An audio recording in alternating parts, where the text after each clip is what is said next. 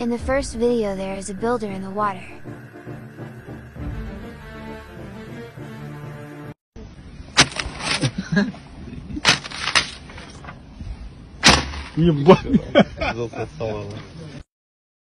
Do you think it's a skill or is it just a coincidence?